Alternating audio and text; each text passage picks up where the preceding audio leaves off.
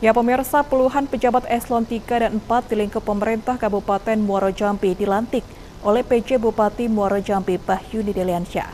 Pelantikan ini merupakan pelantikan terbanyak pada masa kepemimpinan PJ Bupati Bahyuni Deliansyah.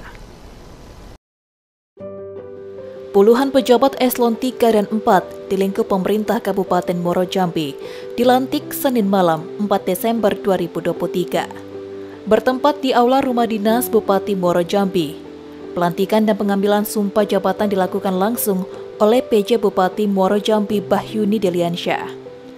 Pelantikan ini merupakan pelantikan terbesar selama kepemimpinan Bahyuni Deliansyah. Sebab pelantikan ini melibatkan puluhan pejabat, sementara sebelumnya hanya belasan orang.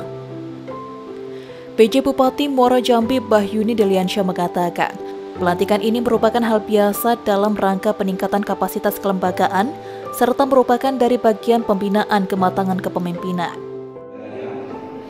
Maka pada hari ini, Senin, tanggal 4 bulan Desember tahun 2023, saya selaku pejabat Bupati Muara dengan ini secara resmi melantik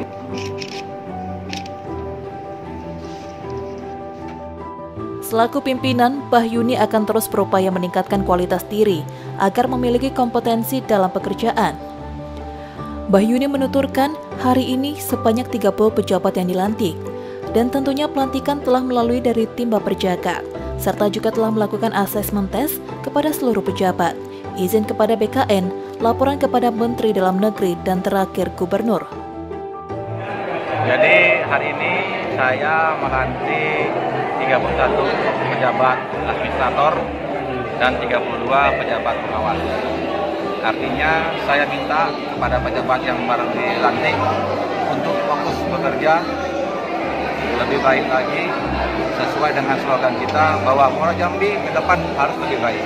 Banyak harapan yang saya minta kepada pejabat yang baru dilantik untuk segera menyelesaikan diri di tempat yang baru, berinovasi, mempunyai kreasi, sehingga Muara Jambi ke depan saya tuh harus tegas di depan orang yang dilantik, biar juga tegas. Nah, Bahyuni berharap kepada pejabat yang sudah dilantik dapat bekerja sesuai aturan.